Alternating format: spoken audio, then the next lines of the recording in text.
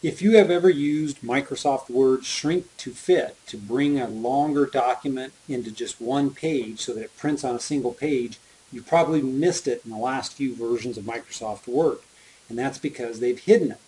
So here is how to get it back. There's two ways. Number one, at the very top left of your quick access toolbar, if you click the little drop down here, you can click more commands and under more commands you'll get the options to add more commands to the quick access toolbar. So we're going to click under choose commands from all commands. That gives you every possibility of a command button that you can create.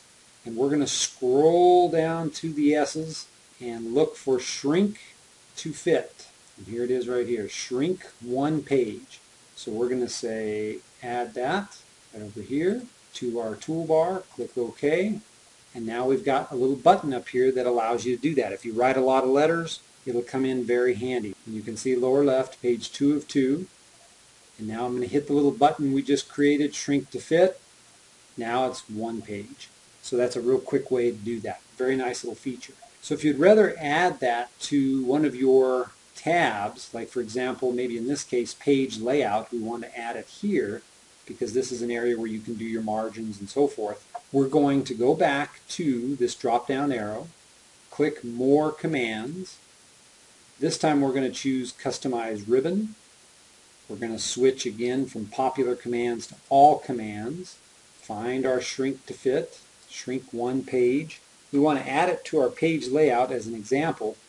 Unfortunately, Word will not let you put it in an existing group like for example, margins over here on the left is a group. So we have to create a new group for that particular tab. So I'm going to click New Group, and we can rename that new group and just call it, I'm just going to call it Shrink. Click OK. Now we have a new group. Now I can add my Shrink 1 page to that group, which is on the Page Layout tab. So I'm going to add it to, to the group. Click OK. And now you're going to see we have a new shrink page here. So let's undo our previous shrink. So now we have two pages again.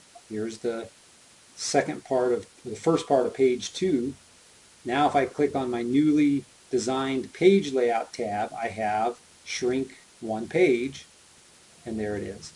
So that's how to use the shrink to one page tool in Microsoft Word. Very, very handy, but they make you work for it to get it re-enabled on your newer versions of Microsoft Word.